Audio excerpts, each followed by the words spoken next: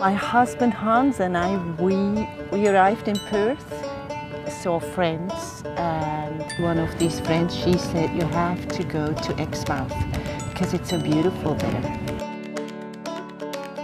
And all of a sudden we heard that uh, this huge uh, fish is going around.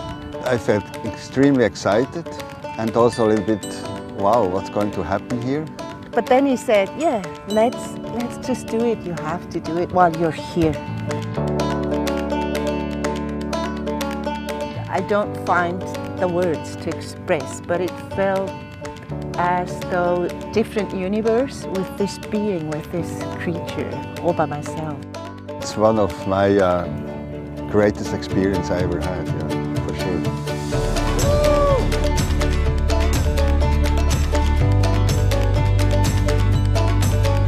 Coming from Europe, all this hectic and all this, West Australia is just easy. It's just so beautiful. It would be nice if everybody could have this experience. That would be great. Just know there is no one around for kilometers. There is some stillness going with us. And we both really love that kind of nature.